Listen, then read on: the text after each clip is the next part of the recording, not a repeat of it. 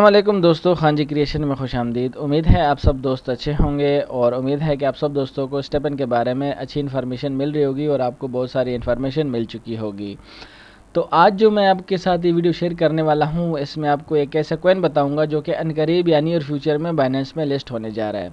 और हर दोस्त की ये ख्वाहिश होती है कि वो कोई भी कोइन ले और उसके बाद वो बाइनेंस में लिस्ट हो जाए, क्योंकि बाइनेंस में लिस्टिंग के बाद उस कोइन का प्राइस हमेशा पम्प करता है और उसका प्राइस हमेशा ऊपर जाता है। तो जो कोइन मैं आपको बताने वाला हूँ, हमेशा आपने अपनी रिसर्च करनी है। मेरा काम है थोड़ी सी इन्फॉर्मेशन डिलीवर करना। उसके बाद वो काम और डिसीज़न आपका अपना होता है तो उस पर आपने थोड़ी सी रिसर्च खुद भी कर लेना है, ठीक है?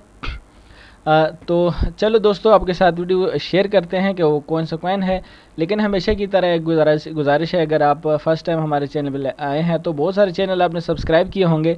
ये भी अपने भाई का चैनल समझ के ज़रूर सब्सक्राइब करके बेल के आइकन को प्रेस कर देना ताकि नेक्स्ट मैं कोई वीडियो अपलोड करूँ तो आप दोस्तों को नोटिफिकेशन मिलता रहे।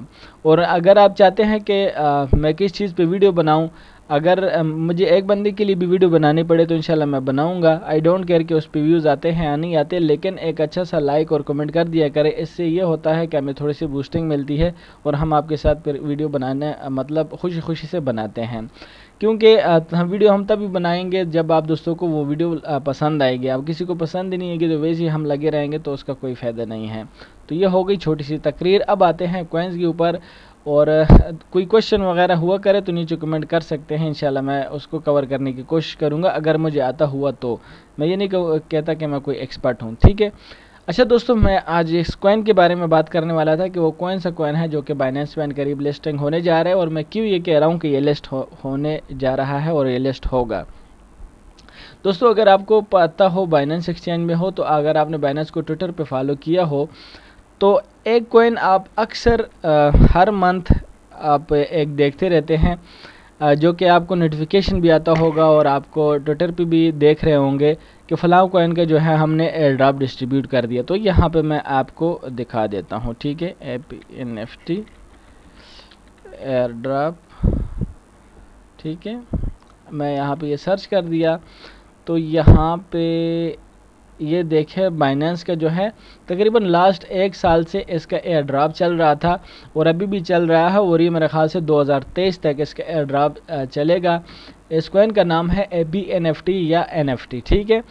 जो कि बाइनेंस एक्सचेंज में जिस बंदे ने भी हंड्रेड टी आर एक्स या जो 2000 ओल्ड बी टी टी या जो new B T T C है टू मिलियन या हंड्रेड जी एस टी या पंद्रह सौ पंद्रह हज़ार विन होल्ड किए होते हैं तो उनको हर month A P N F T का एयर ड्राप मिलता रहता है।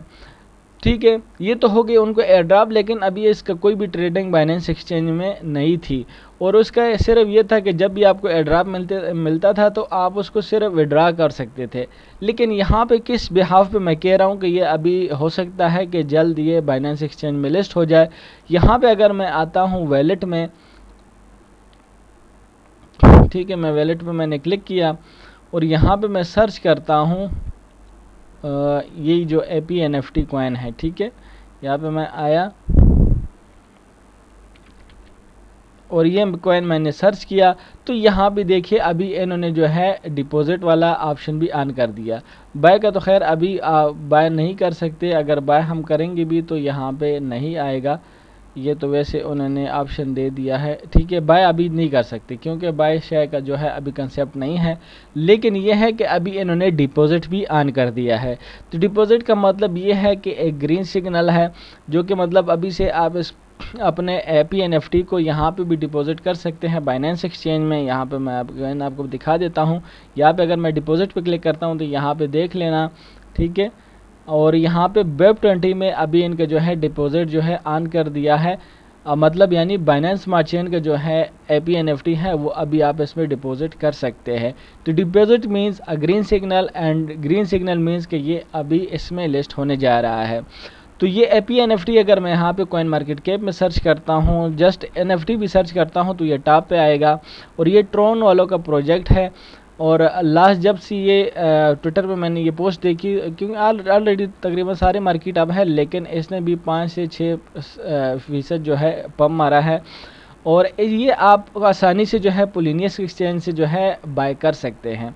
नीचे डिस्क्रिप्शन में मैं आपको लिनक्स एक्सचेंज का लिंक दे दूँगा। आपने कैसे अकाउंट बनाना है, कैसे बाय करना है, ये आप सब कर लेंगे। क्योंकि अगर आप क्रिप्टो में हैं तो आपको इतना तो पता होगा कि कैसे बाय सेल होते हैं, कैसे अकाउंट क्रिएट होता है ईजिली ये तरह आपको आना चाहिए। ठीक है?